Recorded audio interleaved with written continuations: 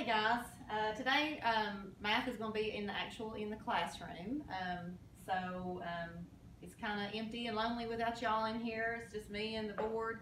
Um, but we're going to do a lesson together. Uh, this week we're talking about how to interpret a line plot. And that uh, word interpret means how to understand or figure out something. So um, we're going to be looking at some line plots. We learned about line plots in fourth grade. Let's just kind of remember what a line plot is. A line plot is a way of displaying data on a number line.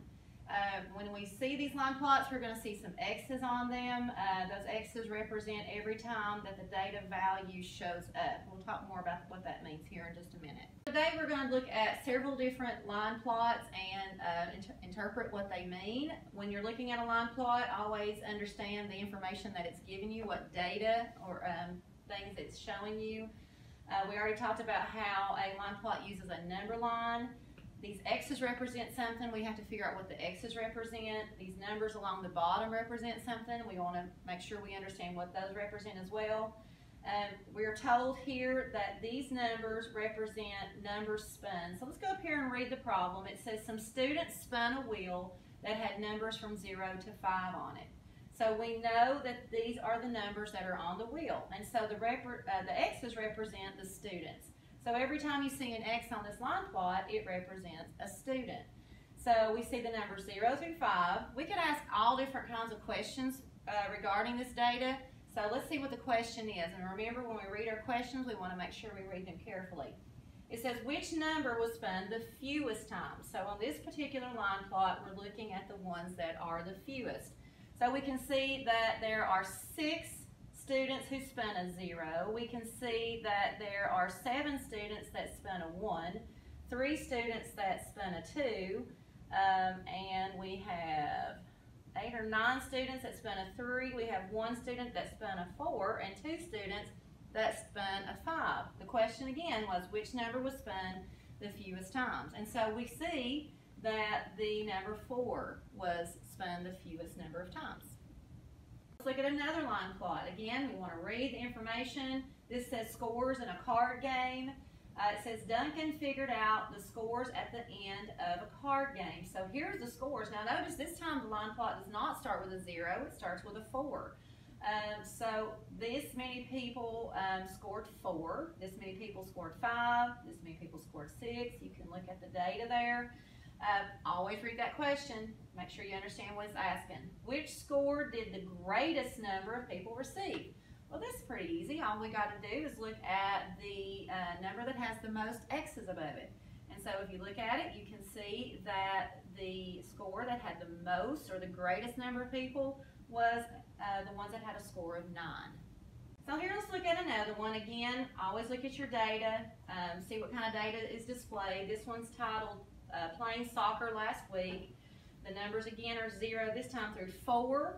It says a soccer coach asked the team how many times they played soccer last week.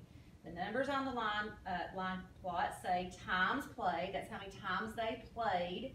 And again, those X's would represent the uh, members of the team, the individual players. So we can say, um, remember he's asking the team, how many times have you played? It looks like three of those students didn't practice at all or didn't play at all. We had one student who played once. We had two students that played twice. We had several students or, um, that played three times, and you can see a whole bunch of those students played four times. So again, the question could be anything. There's all different kinds of questions you can um, ask you with this data. This particular question says, how many people played soccer exactly four times last week? So that uh, word exactly is very important in a sentence. Uh, so we go up there and we look at four. These are the number of students who played four, and all we have to do is simply count those X's. One, two, three, four, five, six, seven, eight, nine, ten. So the answer to this question would be 10. For our next line plot, it says some children compared how many thank you notes they wrote last month. Writing thank you notes. Here's the number of thank you notes they wrote. Again, those X's represent the students. Uh, we have one student who wrote one thank you note. Uh, you can continue looking at the data there. The important part here, after you've looked at that data, reading that question. Make sure you understand what it's asking.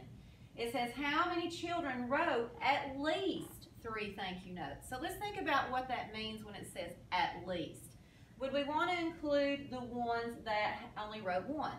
Well, no, because that wouldn't be at least three. Likewise, we would not want to include the ones that only wrote two thank you notes because that's not at least three. We would want to look at the ones who wrote three, but we would also want to include the ones that wrote four because that's at least three. We would also want to include the ones that wrote five and six thank you notes because that is at least three. So for this problem, we would count everything that uh, would be a, an X above the three, the four, the five, and the six. And for our last problem, um, I want you to answer this. If you uh, get the answer for this, you can leave it in the comments section. But it says a survey asked people how many times they visited the mall last month. So here's their number of trips to the mall, and these again represent the people. This many people went zero times. This many people went one time to the mall.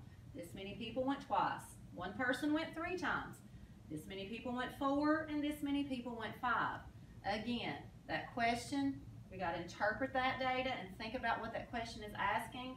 It says, how many people went to the mall more than two times? More than two times. So again, if you want to answer this and put your answers in the comment, I'd love to see your comments. And as always, I miss you and I hope you're staying well. See you next time.